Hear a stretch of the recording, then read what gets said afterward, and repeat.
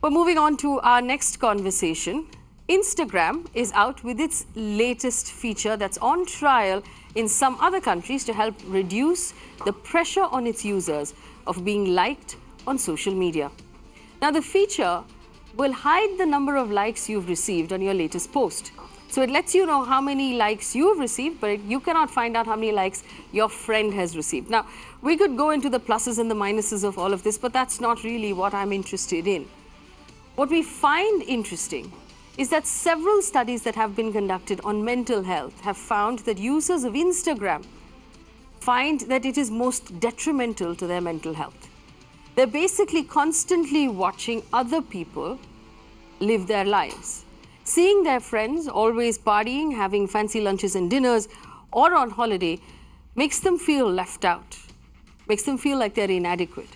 A lot of women and young people, now men and women both, feel that constant visuals of really fit, really good looking people make them feel inadequate in terms of their bodies. In fact, one research paper actually said that the first thing most young people do when they wake up these days is check the number of likes they've received on the latest post they put up on the previous night before they went to bed. So while Instagram, perhaps also compelled by business, needs to do this, we have to have a conversation. So if you're at home right now and you're wondering why are we talking about this, we're talking about this for this reason. If you have a teenager at home, this is the world they're growing up in. You cannot roll your eyes at this anymore. This is their reality. Social media is making them depressed, is making them isolated. And it's something that you and I need to understand so we can help young people work through it. Help me understand really what happens to these influencers and young people on uh, you know Instagram and social media. I have young people join the conversation. Shrishti Dixit is a content creator. Sucharita Tyagi is a film critic and a video content producer. We also have Dr. Shraddha Sidhwani, who is a clinical psychologist who helps young people. And uh, joining us on this conversation is uh, Prajakta Koli, the digital content creator, most, uh, you know, known more popularly as Mostly Sane. Uh, I welcome all of you ladies to this conversation. Let me first point out to all of the critics of television to say women on a panel. There you have it. I'm putting it out there. We managed to get a panel entirely of women, and it's not Women's Day. it isn't Women's Day, so it's not tokenism either. Yes, uh, uh, Dr. Sidhwani will join us in a little bit, but first I want to have a conversation with the three ladies who have joined us. Hello. Hi. Welcome to Mirror Now. Uh, you spend you you guys spend a lot of time on on Instagram on social media. Uh, it takes a certain amount of doing. Yeah. Uh, you have to look a certain way at all times. Um, you know, everybody says that, oh, this is how I woke up, but nobody ever no. wakes up like that. No. Does it take a toll on you? Constantly, yeah. I have sometimes, though, uh, you know, sometimes when my movie reviews or something that I've put out, then I've put something out on Instagram, and there's people talking about it constantly. Like you just said, the first thing I find myself doing waking up is reaching for my phone to see what people have commented on my Instagram, and it, it's it's almost like um, PTSD. You know, sometimes when. Yeah when uh, people sometimes say really, really nasty things, and you know, yes. some something will somebody will say something, and then it takes me weeks to get over it. Give me an example. Constant. Okay, so there are certain words you can't say on television, which I hope yes, you know. But give me an example of what the nasty things are. Um, you know, sometimes people will comment things like, "I know where you live, and I know where you work, and I saw you here at this time," and that that's scary because you don't want people to know where you live and where you work, yeah, and people yeah. who uh, disagree so vehemently with you on the internet उनको नहीं पता होना चाहिए कि आपका घर किधर है। That's cause me that's cause you so at some point have you have you set your phone aside saying आज नहीं करूँगी मैं नहीं कर सकती It's करना पड़ता है। करना पड़ता है क्यों करना पड़ता है? कभी कभी तो फ़ोन रखना पड़ेगा ना because the thing about social media is the more you create the more you want to consume the more you want to read the more you want to write it's it sucks you into you have to consciously make an effort to pull yourself out of it Yeah. So you don't feel I completely agree to um, uh, is that you know we have sort of we need to know that it is uh, 100% first our responsibility to know exactly how much control we're going to give a social media platform to our life especially when it comes to when i woke like woke up. Like these pictures i swear to god i remember when i started doing instagram one thing that i knew for sure was that i am going to post a picture of the way i woke up which is pretty much like this, ladies. This is how it is. And uh, put it on Instagram. I think it is a very conscious decision that you make for yourself before anybody else does for you. So I think that sort of just uh, cuts down a lot of um, issues that arise later. You know, uh, uh, Prajakta, I do want to ask you this. You are younger than uh, a lot of the other people uh, on social media right now. You started also very, very young, um, and and the, you know, the likes. Let's let's be honest, feeds a certain amount of you know self-esteem. Do you feel that you will be okay without them if they were taken away tomorrow? Right now, given the fact that my day job is basically having an engagement on social media and uh, my selling point is the number of likes that come on that uh, um, front no definitely not i'll be very honest with you but also on a more personal level if you think about it uh, i there, there really are some days when i feel like there are pictures that i really liked and had high hopes for that didn't work mm. uh, which got very little likes and then there are pictures which i completely uh, had no uh, hopes about and then those really work so i think uh, personally i have reached a point where uh, i am i am associating myself more with the content yeah. than with the feedback well, you know, I, I want to ask you, I want to ask you ladies this. Uh, so I have a television job, right? Which is, uh, which is different because when I leave the studio and I go home, that's my personal life. It's not on television. Uh, the portion of my life that's, you know, public is the portion that I'm in the office for.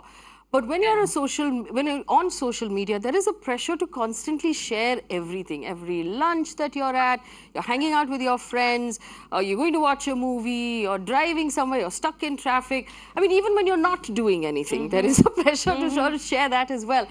Um, is it exhibitionism at some point? Is there? I mean, how do you how do you mentally draw that that line? You know, I find it very uh, difficult sometimes to draw that line because. Uh, what you're seeing around you is content creators. If you're a consumer of social media, you're seeing people, and that's me. Yes, you're seeing.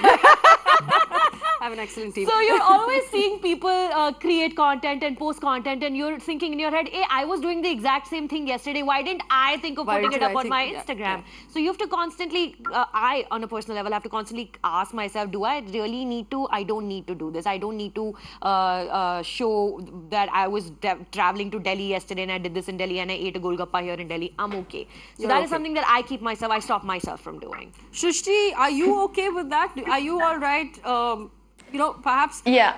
If you saw somebody else have more likes on a particular thing, have a. I just wanted idea. to add. Yes, go ahead. Yeah, I just wanted to add a little to uh, what Sucharita said. There is some constant urge to keep being relevant and keep being seen all the time. Yeah. But uh, there's also a lot of lying that's going on on Instagram from a lot of con- like content creators like me, where we are curating a certain type of reality and identity for ourselves and only showing bits of our day or our lives and our personalities too. So we in that process of curation, we tend to not show a lot of our failures or days where, we, where we are not feeling ourselves or day, days where we are just miserable and just not just feeling pathetic we don't tend to put that on Instagram. A lot of Instagram is just happy pictures of people on vacations, traveling so much. Like, I don't know how people travel so much. And uh, it's just constantly trying to put your best version out there yeah. so that you seem perfect. But, like, as we all know, none of our lives are perfect. We, we are hiding a lot about ourselves from our social media itself. And I think it would be healthier if we start putting out our weak moments just as much as so, so because because you said that moments where we are thriving and successful. Uh, because you said that, uh, Shrishti, and I want each of you to share perhaps um, a really weak moment you had, and if that was in any way linked to social media, does you know the fact that you put so much pressure on yourself, and, and I'm doing this because I want people at home to understand what young people are going through today. Uh, Tell us about a weak moment, uh, something that upset you, depressed you, something that had to do with social media. Shrishti? Uh, I just have to take a stroll down the comment section under any of my videos, and mm. that is where my weak moments lie. That is where I'm really like pulled apart by people who know absolutely nothing about me but feel free to say the meanest things and like that makes me feel like oh my god am, why am i even putting myself out there when people can be this mean to some to a stranger? And uh, i have felt like that and i have like done a detox and like tuned myself out fell off the grid not spoken to people not been on instagram not posted for a while. Because it's just like one tiny comment can set me off that terribly and i don't like instagram or comments or strangers having that power over like my mood or my day or my mental health. So yeah there are many moments like that where i'm just like why why am i even here? I should just not i should just quit. And then there are days when i'm like no i'm killing it. I'm great. And obviously a lot of support system and friends help with that also. But yeah i mean it's it's good and bad. It's like a romantic relationship which has its ups and downs. So yeah You know, for me personally, anytime I put anything out on the internet, because I'm not an actor, I don't do comedy, I don't do sketches, I do, uh, I talk about cinema, and anyone who's talking about cinema is talking from their personal experience, who they are as an individual. So that gives people a lot of fodder to comment on me, Yes. on my life, and on that I have lack of love or lack of, you know, whatever in my life. So it gets very, very, very personal, and I do find myself. Um, just randomly bursting into tears sometimes when it gets too much because I am trying to not let it affect me, but you forget how much you're constantly trying to not let it affect you. That when you read that one random comment from one hmm. guy with like a anda for a display picture, Yes. you know, and you just read and it just kind of, you know, you just break apart in that moment. And then you kind of gather yourself back up because the best thing you can do in a moment like this is go on and continue to create the content that you want to create. And you not- not recommend, do, you- do you uh, have you spoken to a lot of young people who who've had to go off social media because it depressed them because it made them uh, FOMO? Yeah. They just feel like they're inadequate. I got I get a lot of messages from women who are watching my content uh, and they're messaging me saying we're so surprised that you're back because you got trolled so badly last week because I'm creating content constantly every week multiple times a week I'm talking about cinema. Uh, I get I got messages from girls saying we're so surprised that you're back. We thought so that's what happens. Girls get scared and then they don't want to come back on the internet. So the best thing like I said you can do is keep coming back and keep saying your piece and just constantly be at it. Um, you know i am i'm very i'm fortunate i'm privileged and i have a support system like Srishti also mentioned uh, that sometimes when i want to close my eyes and bury my head in the sand i can i do that sometimes Uh, it must be difficult when it's your job, though. Uh, you- Oh, and, and I Faye, I want- just want to add sorry yes, yes, yes, yes. Go ahead, Shrishti. can i go Yes. sorry This is why I asked you to come to the Huh, studio. I'm just saying, uh, adding to what Sucharita is saying. Yes, sorry, I'm, I'm sweating in my house. My AC isn't working. Bol behan, it's bol. not conducive conditions to do this, but I'm doing it. bolo, bolo, bolo. Sorry, sorry, sorry. So, Go uh, ahead. uh, I just wanted to add to what Sucharita said. It's it's important to keep at it and keep doing what you love to do and keep remembering why, like the reason, the first reason why you are actually there and doing like stuff. But it's also equally important to just tune out sometimes and give yourself the space to just prioritize or just like if you're feeling disor- disoriented or if you're attaching a lot of self-esteem and value to numbers like instagram likes then it is beneficial to just like take Yeah. a break once in a while and just reevaluate things and be like okay wait. I actually did do a lot of things this week just because i have not shown them off on instagram doesn't mean i was completely unproductive or worthless. Like you like we need to understand ourselves how much value we are attaching to that number those followers or how many people are engaging with my content how many Yeah, people yeah. know of who i am we need to a little bit disassociate from that and still feel like whole complex individuals with with thoughts and friends and feelings and all of that and yeah like smell a rose once in a while like i don't know chill with You a know, cat yeah, so I actually, uh, Like, you know, I have do questions, that make and, you and uh, we'll take the questions uh, to Dr. Sidhwani, who you know who helps a lot of young people. But uh, I'd want you ladies to answer those questions as well. Prajakta, uh, you, I know that there are a lot of young people who reach out to you, people in their early, you know, teenagers who are 16, 15, 16, 17, who write to you and say, "This is what I'm going through. I'm depressed. I don't want to go on. I don't want to carry on." There's a lot of that that goes on. What do you say? I mean, what are the reasons? Why do young people feel this way right now?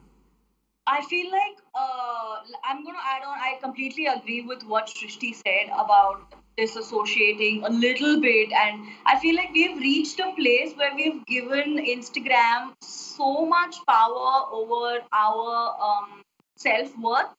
We have reached a place where for us it has it is almost like if it's not on Instagram, it didn't happen. And that is something that we have to work on for ourselves. I, I also made a video on this recently where um, um, I got in an argument with a friend of my mom's who said that all these uh, uh, uh, you know disturbing things that are happening the reason why uh, young kids are getting into depression and the reason why people are not happy and they're validating themselves on the internet is because of social media and i was like no it's because we, we don't know better for ourselves at this point. And i think it is very important for right like she rightly said we it's very important for us to prioritize exactly how much time like for us for me it's my job to spend time on instagram but i need to know that it is only a part of my job like everything else is a part of my life. It's only a part of my life like everything else is.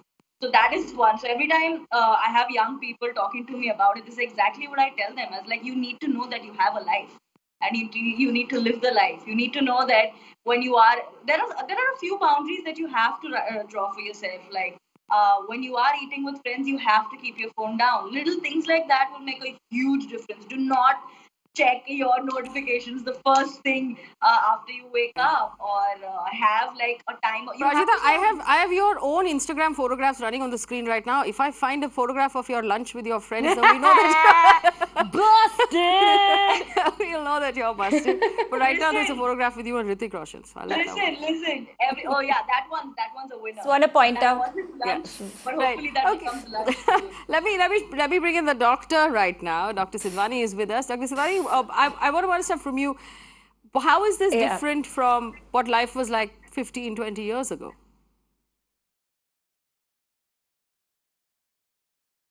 I think, Faye, what has happened with social media coming in, especially with the Instagram likes, is with there's a constant validation that is required from society. So most teenagers, as she was saying, she is drawing a line between her work and the post and how much time needs to be spent. But I totally with teenagers, that's not the case. They're constantly on Instagram seeing how many likes they've got. They are sort of very obsessive. So they have a lot of disorders coming up. We have the anxiety disorder coming up. We have a lot of obsession, addiction to the uh, the app. Uh, so I think we've progressed in a very, uh, you know, in a bad manner where mental health is concerned because we are constantly seeking validation. There are times where the validation is approved and you're getting those many likes, but the minute the validation is not improved, uh, there is a lot of self downing. Uh, mm. The person's self esteem collapses, they get into deep depression. Uh, there are a lot of panic attacks that are happening with teenagers and it's very competitive it's very uh, you, you know you're constantly feeling not good enough Dr. Sidhwani, and this is important for parents who are watching right now because um, this is not I'm, I'm just getting, with teenagers, this is with adults also. This is with adults as well because I'm getting a lot of messages. Uh, for example, Pankaj Singh says, I'm a 52 year old man. I yes. think social media is bad for the young generation, it's taking away. So there might be a disconnect here. And, and I just want to ask Dr. Sidhwani this question. Do you find this happening to younger and younger people? So I've noticed that girls as young as 12 or 13 or 14 want to get their yes, eyebrows done, sure. they want to go get waxed, they want to get their hair done because there's a Definitely. pressure to look a certain way. Yes, definitely. And I think what you're saying is uh, the whole perfectionist. You know, you want your body to look perfect, you want to behave in a perfect way, you want a perfect life. I think, as was mentioned before, uh, that only a few posts which are very exciting, happy are posted. So people don't know the reality behind the person. It is only what is presented, and most of what is presented may not be real. So I think there's a disconnect between reality and uh, fantasy. So I think we are living in a fantasizing world. You know, it's more of an imaginative world that things can be as good. So my reality could never match up to your very, very made up reality. Difficult नहीं but फे मैं जब 12 13 साल की थी जब social media नहीं था मेरे को तो तब भी वैक्सिंग करानी थी। मैं तो तब भी मम्मी के पीछे पड़ी थी मुझे आईब्रोज कराने दो। सो ये प्रेशर्स तब भी थे। आप दिल्ली से दिल्ली की लड़की हूँ मैं तो ये प्रेशर्स दिल्ली के स्कूल में तब भी थे और ये प्रेशर्स आज भी हैं। But I think no but you know I tell you the difference I tell you the difference and I grew up in Bangalore waxing की प्रेशर नहीं थी but we we compared ourselves to the three kids who lived this way on your street and three kids who lived that way so you had to do better in your exam than that you know that Manju at the end of the street. Absolutely. But now you're competing with everybody. See, now we live in a we live in a physical. Yes, Dr. Sidhwani, go ahead. But Faye, I'll just come. I just want to come back to the whole Instagram app, and uh, if you've seen the stories, the stories don't have the like button. Uh, so no, you you don't like the stories, you don't dislike the stories. But when it comes to the post, you're liking the post. So I think the reason why Instagram is deleting the likes, they are doing a psychological experiment, which of course may not be right. Uh, but this is sort of to see whether this is validating people, how is it taking them down psychologically. Okay, and I have to ask this question. Um, is there a push to make posts more and more sexual in order to make them likable? And I, and I don't mean by the influencers here, I mean by regular young people. Will there be pressure on someone in order to get noticed on social media to maybe at a very young age start dressing differently or start posting things that are slightly more provocative?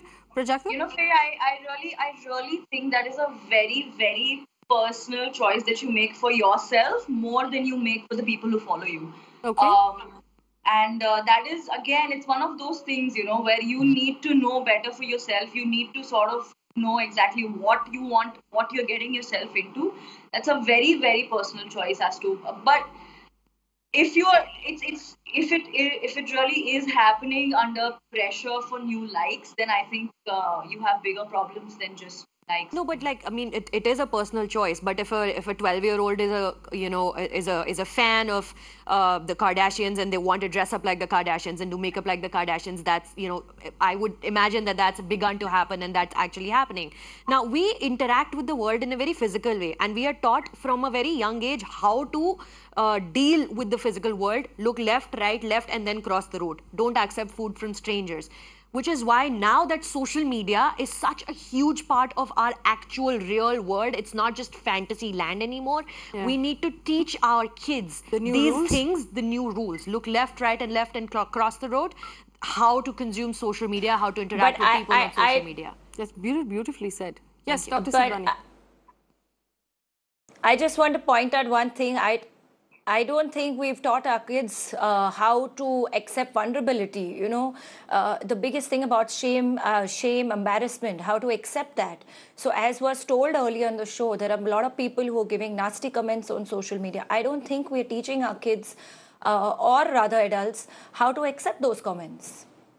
and monitor social media that your child is consuming the same way you would monitor the kind of films that they're watching and the kind of television they're watching and of course more doctors more doctors more counselors more uh, counseling for parents to deal with depression that comes specifically from social media consumption anxiety that comes specifically from social media consumption and if there's more people teaching uh, young adults or even people who are not adults yet how to deal with the anxiety and the pressures that come from social media because you take away one uh, likes from instagram something else will come Yes. up You know, it's, I- it's a I- drop yeah, in the it- ocean it's and you you know there's TikTok and there's the next So thing and the next There's thing so and that cycle keeps moving. I want to ask Shrishti I this also, question. I also, I also Yes. feel like another thing that uh, we would want younger people to know and understand is knowing the difference between hate and criticism. I think that is very important when you put yourself and voice your opinion on a global platform where you uh, are open, you're like your uh, voice reaches everyone. I think it's very important for us to know exactly what is hate, uh, Yes. what and what is criticism, what to accept and what to ignore.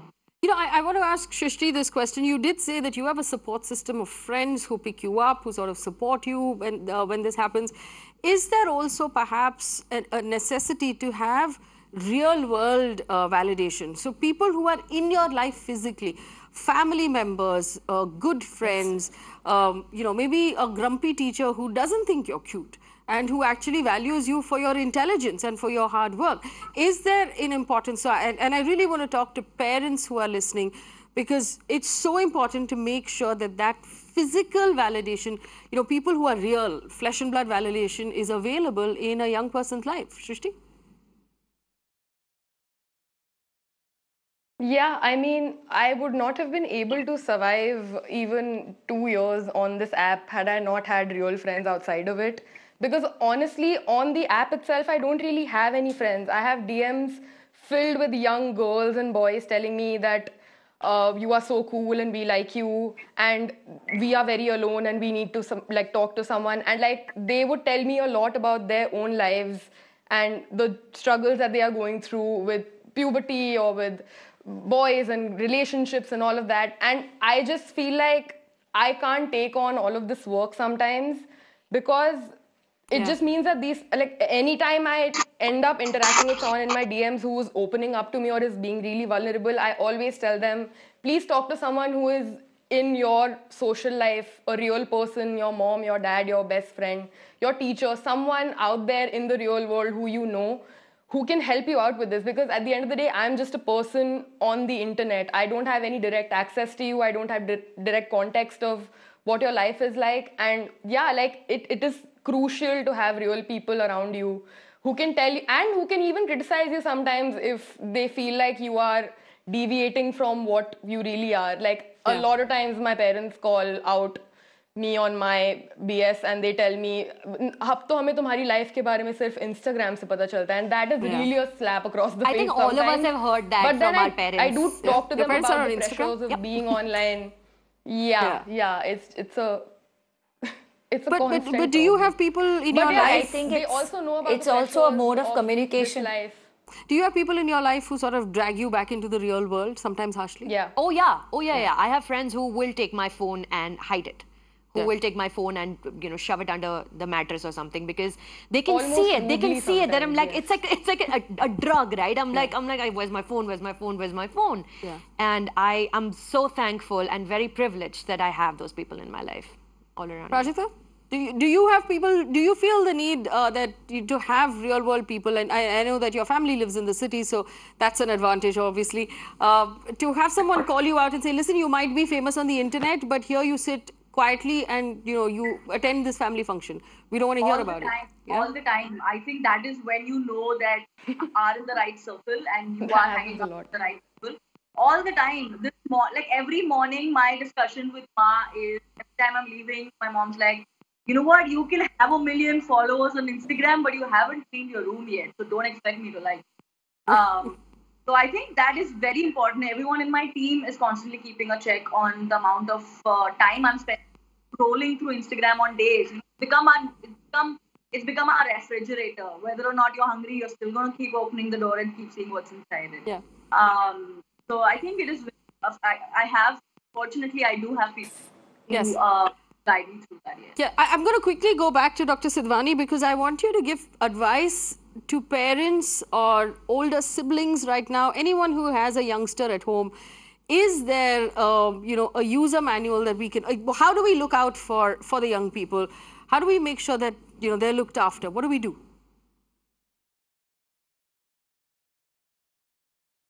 I think uh, what is most important is to see the timeline that is spent on the app. Uh, talk to them and i think uh, what is very very important is to understand that social media cannot be the only way of communication so there has to be real life communication as uh, we've heard uh, this is not the only way you can know about your child so uh, uh, you know a physical talk with your child would be more helpful uh, there are guidelines of how to monitor social media check their phones uh, you know guide them as to what is good, what is not good. A lot of self esteem issues. I think we need to sit down and talk to children that.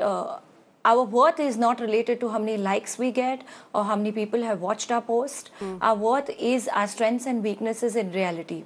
So I think it's it's very effective for us to talk to the uh, to the child. Well, that's very well said. Uh, you know, we know that parents actually have to get on Instagram these days to figure out what their kids are doing. But uh, if there was one piece of information that I, or uh, one piece of Yep. advice that I would offer, it would be simply this. Moms and dads and parents, put your phone down first. Um, you know, when you're at dinner, when you're with your kids, put your phone away because we actually lead. It, it, kids actually follow what we do and not what we say. So you could keep telling your child that the phone is not allowed and you can't be on your phone all the time. But if we're on our phones all the time, then that's the example that we're setting. I want to thank my wonderful panelists for making time for talking about this. Uh, contact details. Uh, thank you, ladies, for for being so kind and for coming in. Uh, you know, we are available on Mirror Now at Mirror Now. I'm um, at Faye D'Souza. My email ID is faye.d'souza at timesgroup.com. If you feel that you're under stress in any way, if you feel depressed, if you feel that there's nobody listening to you, get in touch with us and we will put you in touch with someone qualified close to you who can help you out. You are not alone. You just feel alone because you spend so much time on your phone. Get off your phone, get in touch with us, and we'll put you in touch with someone who can help out. It's never a hopeless situation.